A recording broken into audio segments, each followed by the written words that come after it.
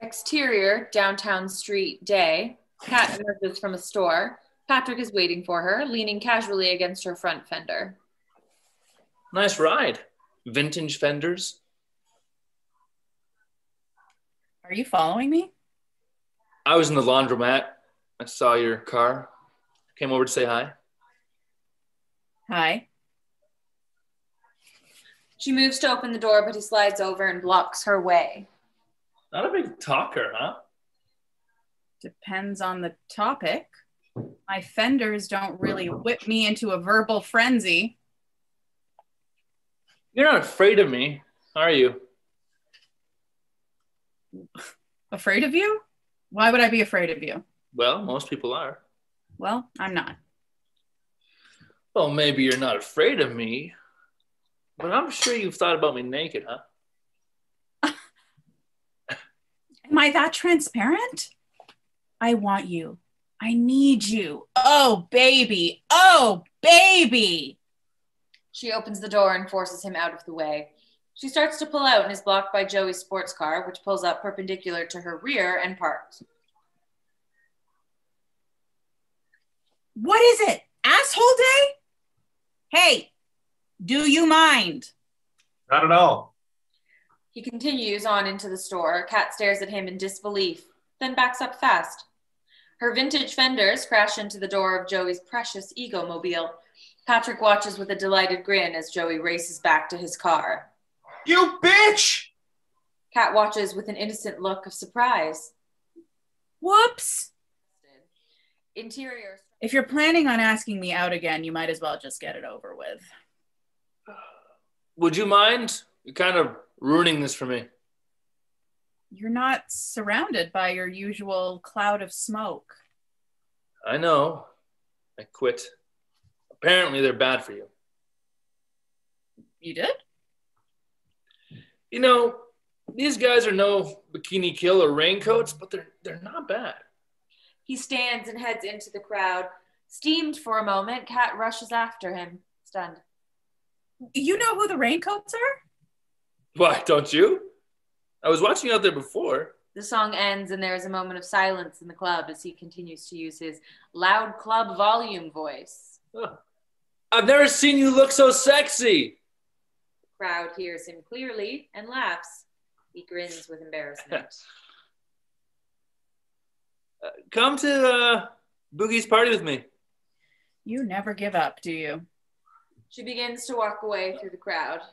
Was that a yes? No. Ha. Well, was that a no? No. I'll see you at 9:30 then. She's off. Kat completes her dance by falling off the table. Patrick catches her. Whoa. Uh, are you okay? I'm fine.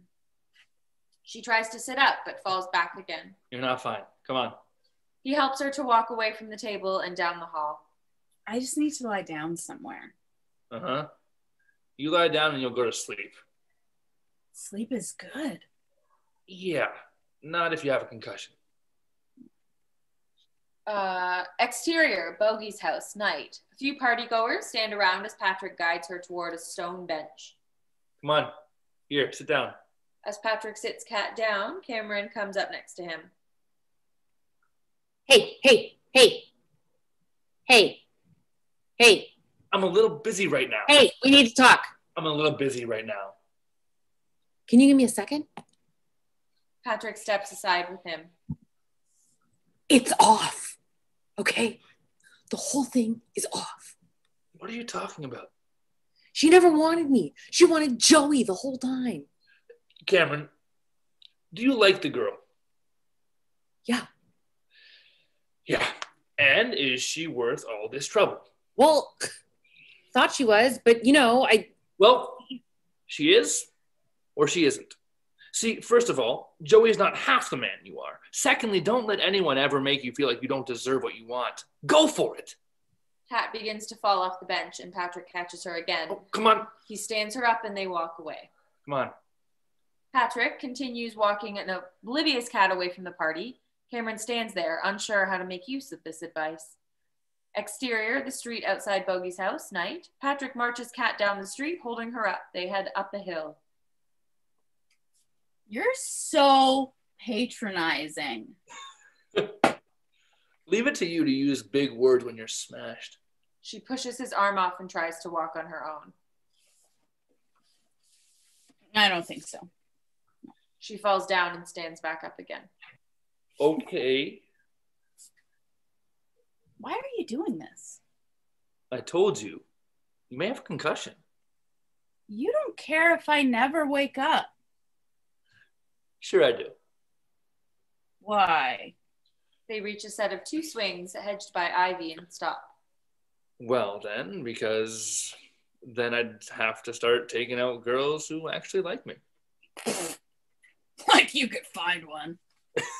See that there? Who needs affection when I have blind hatred? Let me sit down for a while. She walks over to the swings and flops down, moving her hands to hang onto the ropes. She sits and looks at him for a moment with a smile, then falls over backward, just in time to be caught again.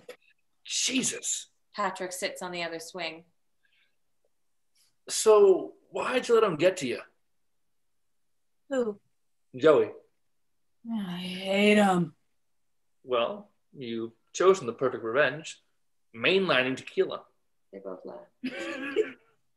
Well, you know what they say. He stops the swing. No. What do they say? Kat is asleep, her head resting against the swing's rope.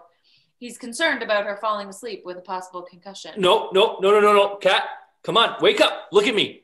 Listen to me, Kat. Open your eyes. He slaps her and she slowly opens her eyes. Hmm. Hey, your eyes have a little green in them.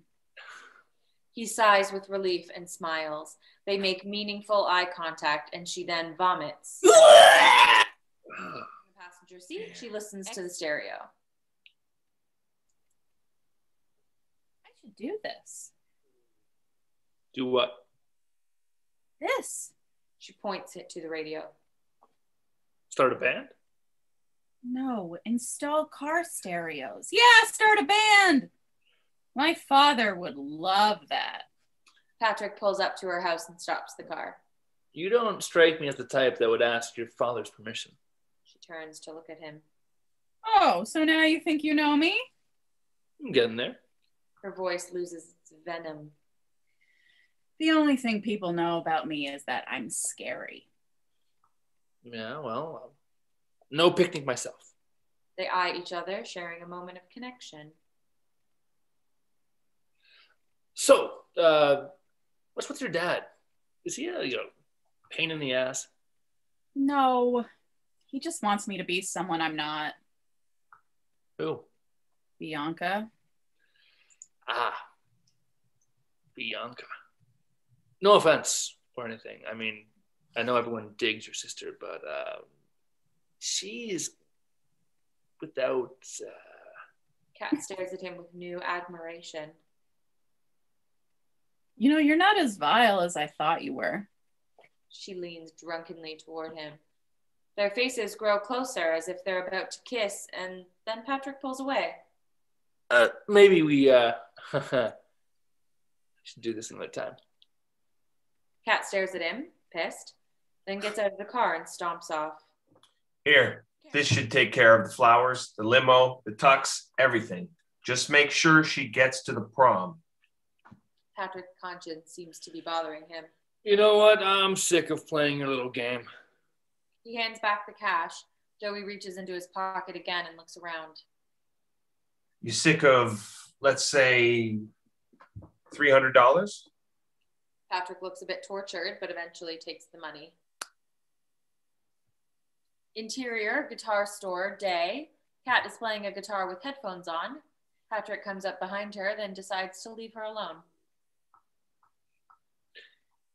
Interior bookstore day. Patrick scans the store for Kat, sees her, and follows her from the next row of books.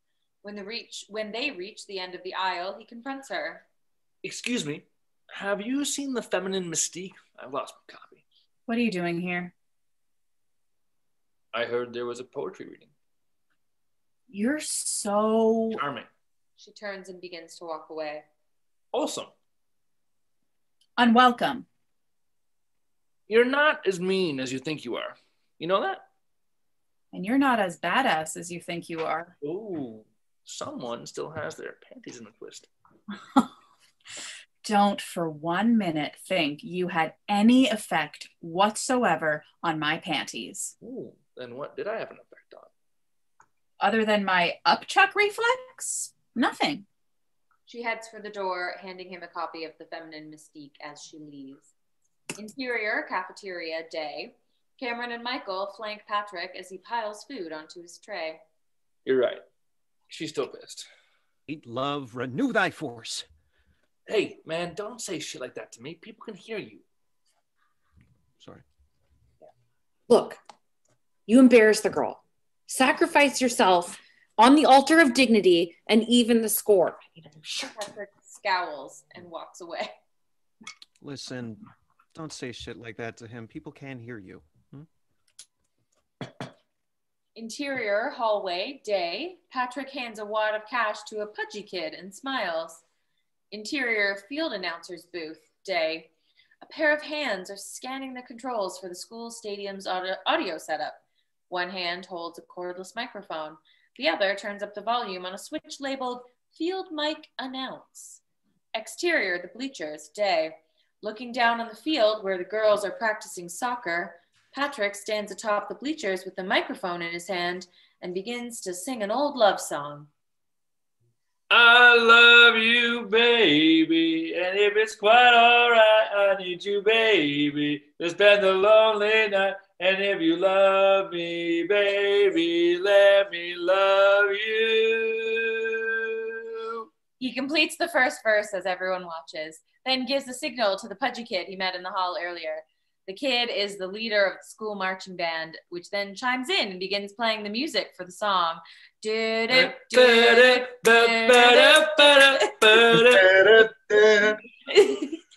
Kat is thrilled. Uh, Patrick continues singing and dancing around on the bleachers until two cops arrive. They grab him as the soccer team applauds his performance.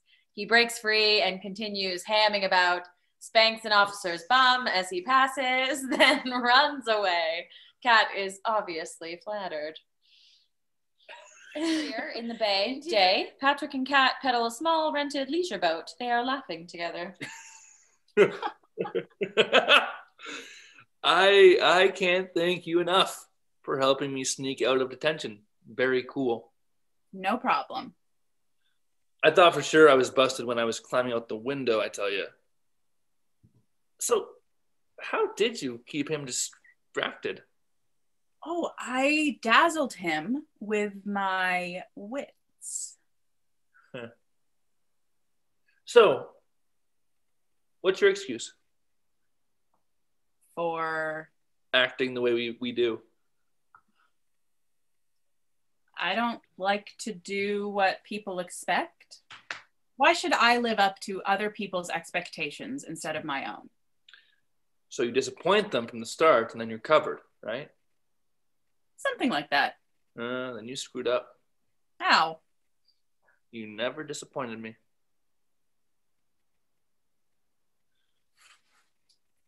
Are you up for it? Up for what? He motions to the sign for a paintball game.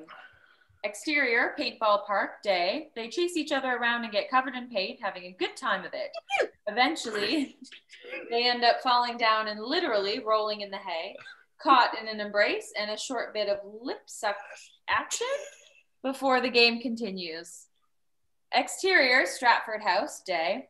Patrick pulls up outside Kat's house and they get out. Paint still streaks their hair. No, none of that stuff is true. State trooper? Fallacy. Uh, dead guy in the parking lot. Rumor. The duck? Hearsay. Bobby Ridgway's balls. Fact. But he deserved it. He tried to grope me in the lunch line. Fair enough. The accident? It's real. I lived in Australia until I was 10. With the pygmies. Close with my mom. Where were you last year? I know the porn career is a lie. Do you? They pause for a moment, then laugh. Tell me something true. Something true. Uh, okay. I hate peas. No. something real. Something no one else knows. Okay. You're sweet and sexy and completely hot for me. You're amazingly self assured. Has anyone ever told you that? I tell myself that every day, actually. He kisses her. Go to prom with me. Is that a request or a command? Come on. Go with me. No. No. Why not? No. I won't go with you. Why not? Because I don't want to. It's a stupid tradition. Come on. People won't expect you to go. Kat turns to him, getting angry. Why are you pushing this? What's in it for you? He plays the role of the guilty, accused husband, answering with an accusatory question. Oh, so I need to have a, a motive to want to be with you? You tell me. God, you need therapy. You know that? Has anyone ever told you that? Answer the question, Patrick. Nothing. There's nothing in it for me, just the, the pleasure of your company, okay? He takes out a cigarette. She throws it away before she storms off and slams the door to the house. Interior prom balcony night. Sorry, I was playing letters to Cleo in my head. Kat ascends the grand staircase and stops. Patrick notices and comes up behind her. Wow. You too. He hands her a rose. Where'd you get a tux at the last minute? No, just something I had, you know, lying around. Oh. Where'd you get that dress? Oh, just something I had, you know, lying around. He smiles. Listen, I'm really sorry that I questioned your motives. I was wrong. You're forgiven. Okay. Ready for the prom? Yes, ma'am. A new song begins and Kat recognizes it. It's her favorite band. Oh my God. It's I called in a favor. Kat stares in honest appreciation as the lead singer of her favorite band appears on stage and makes her way to the crowd to sing directly to Kat. She turns back toward the stage and Patrick kisses Kat. The music plays. Interior prom dance floor immediately after. Patrick and Kat continue to slow dance in good spirits. Milwaukee. what?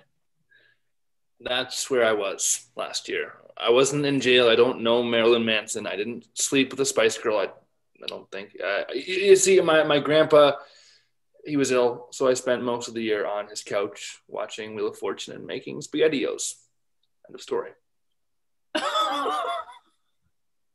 No way.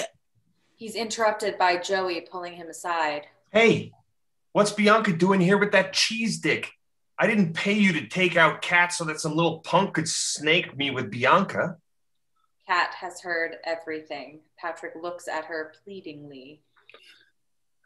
Nothing in it for you, huh?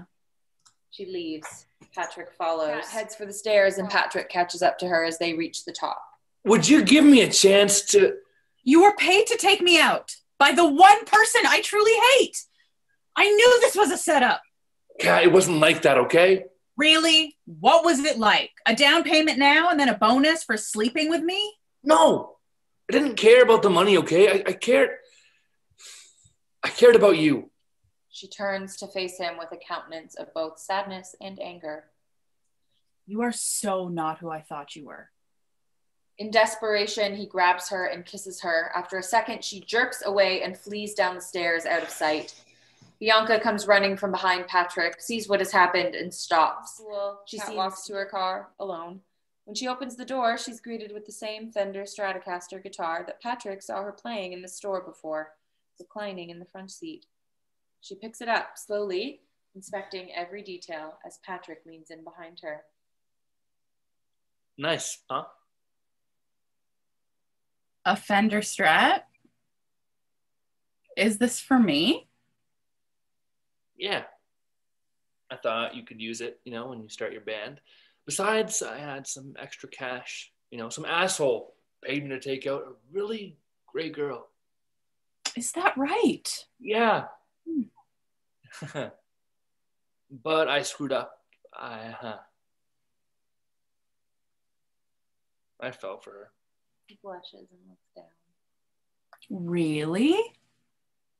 It's not every day you find a girl who will flash someone to get you out of detention. Kat is surprised and embarrassed that he found out about the flash. Oh, God.